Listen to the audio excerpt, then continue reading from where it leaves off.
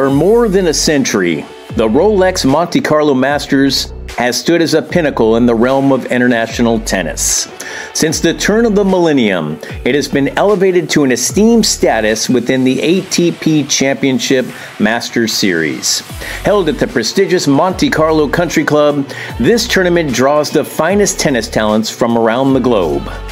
Nestled along the picturesque French Riviera adjacent to Monaco, the annual Monte Carlo Masters Tennis Tournament unfolds each April.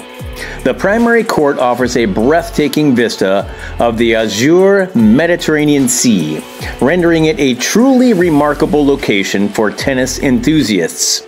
With a rich history spanning 123 years, this event has become synonymous with the region's allure. Notably, as a male only tournament, it holds a prominent position within the ATP World Tour Masters 1000 series.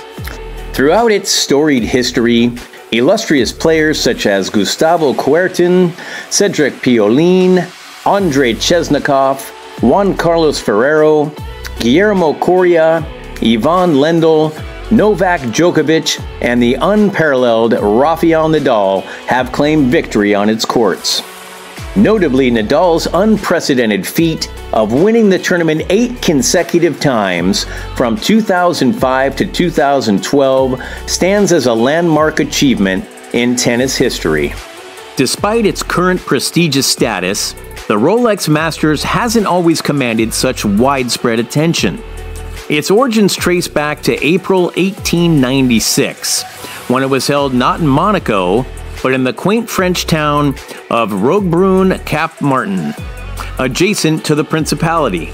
Organizers of the Rolex Masters secured tennis courts and administrative amenities from the French Republic for the event. The inaugural tournament in 1896 saw victory for Englishman George Whiteside Hillyard the following year, the Brits maintained their dominance as Reginald Doherty emerged victorious over compatriot Conway W. Blackwood Price. Over time, the Monte Carlo Rolex Masters evolved from a modest beginning into the prestigious event it is today, drawing increasing numbers of participants eager to showcase their tennis prowess. Originating as an amateur tournament, it transitioned to exclusively hosting professional players in 1969. Notably, it holds the distinction of being the oldest tennis tournament in Europe.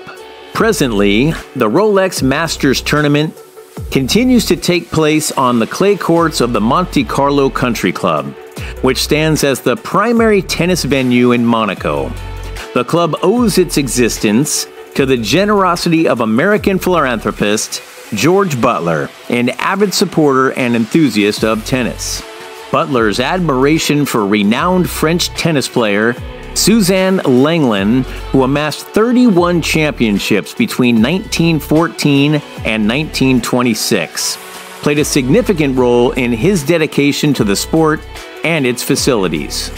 Every year, the championship winner is honored with the prize bestowed by a member of the princely family highlighting the enduring camaraderie between the Monte Carlo Country Club and the ruling family.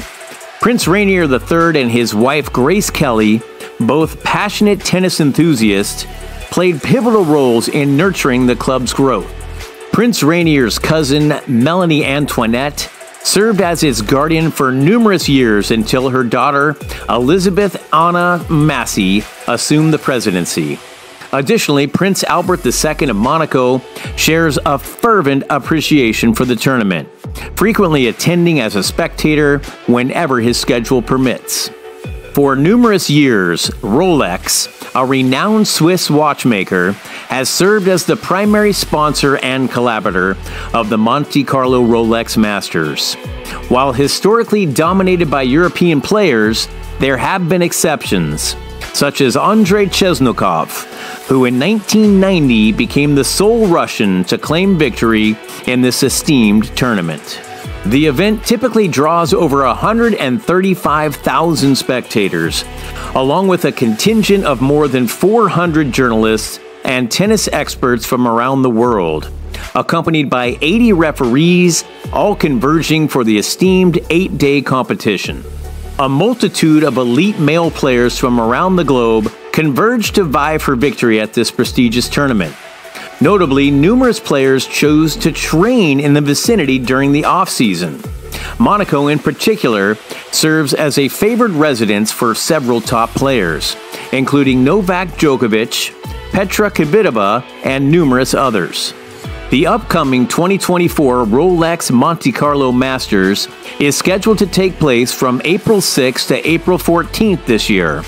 It marks the 117th edition of the tournament wherein the Monte Carlo Country Club will welcome international tennis luminaries to its courts and terraces, offering breathtaking panoramic vistas of the Mediterranean. In the 2023 Monte Carlo Masters final, Andrey Rublev, a beloved figure among fans, showcased his prowess on Court Rainier III. Despite his long standing presence within the world's top 10 for over two years, it was on this particular Sunday that he truly basked in the spotlight. Rublev's emotional reaction spoke volumes. Following his triumphant victory over Holger Rune in the Rolex Monte Carlo Masters Final, the champion collapsed onto the court, his hands covering his face. In that poignant moment, amidst the red clay of the Monte Carlo Country Club, where tennis legends such as Rafael Nadal, Novak Djokovic, Bjorn Borg, and Ivan Lendl had previously triumphed, the fifth seed not only joined their ranks, but also secured his maiden ATP Masters 1000 title. Finally, I did it. I did it in Monaco with this really historic tournament. It's a pleasure to be a part of it, Rublev said. To win a match like this, losing 4 1, love 30, break point for 5 1, and to be able to come back and to win the match is like a fairy tale today.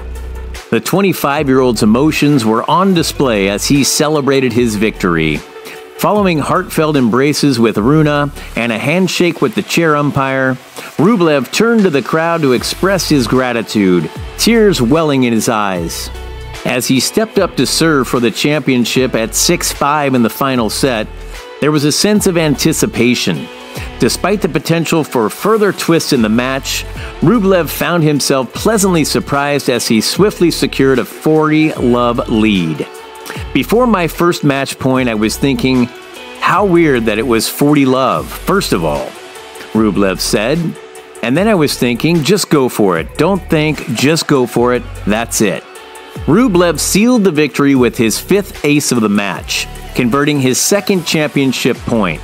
Amidst the celebration, the fans showed their unwavering support for him.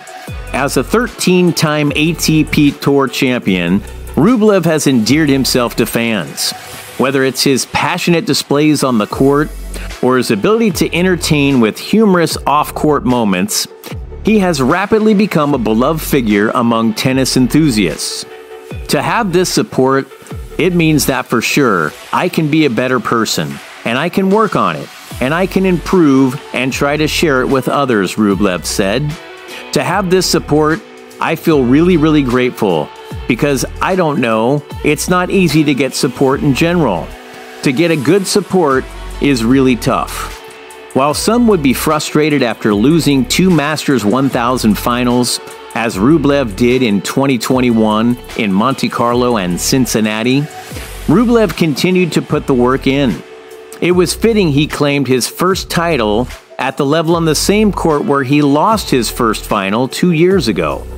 I was thinking that if I do the right things outside the court practicing wise, I will have chances to win the big titles, Rublev said. The thing is, I didn't know when it's going to happen. This year, last year, two years ago, because I played two finals before, I played a couple of times semifinals, and I couldn't make it. In the end, it happened here. I didn't really expect that I'm going to win the title before this week, but then match by match, I started to win. And then somehow, I ended up winning.